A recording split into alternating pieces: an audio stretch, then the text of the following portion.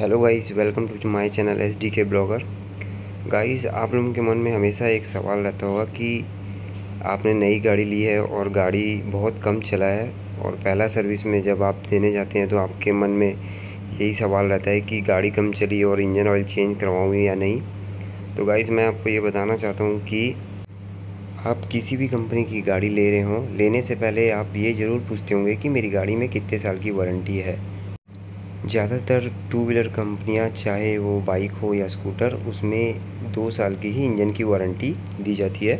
लेकिन गाइस ये वारंटी भी तभी मान्य होती है जब आपकी गाड़ी की सर्विस कंपनी के रिकमेंडेड सर्विस शेड्यूल के हिसाब से, यानी कि आपकी गाड़ी की सर्विस टाइम टू टाइम होती है, तभी आपको ये प्राप्त होती है ईज़िली इस शेड्यूल में भी आपको दो ऑप्शन दिए जाते हैं।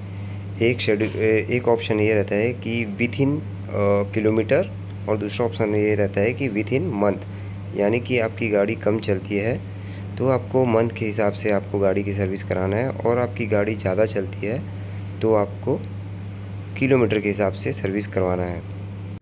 लेकिन इसके बावजूद कई लोगों के मन में यही शंका रहती है कि मेरी गाड़ी तो बहुत कम चली है तो मैं इंजन ऑयल चेंज क्यों करवाऊँ?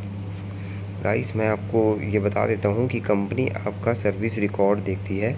अगर आपके सर्विस रिकॉर्ड में इंजन ऑयल चेंज नहीं हुआ या आपकी गाड़ी टाइम टू टाइम सर्विस नहीं हुई तो आपकी इंजन की वारंटी किसी काम की नहीं है।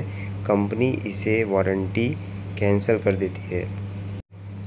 तो दोस्तों, ऐसी गलती बिल्कुल भी मत कीजिएगा और आप अपनी गाड़ी की सर्विस के समय इंजन ऑयल बिल्कुल चेंज करवाइए टाइम टू टाइम सर्विस करवाइए, तभी आपको इंजन की वारंटी प्राप्त होती है। और गाइस आपको मेरी वीडियो अच्छी लगी हो तो प्लीज़ लाइक करें सब्सक्राइब करें और बेल आइकॉन प्रेस करना ना भूलें। मिलते हैं आप अगली वीडियो में।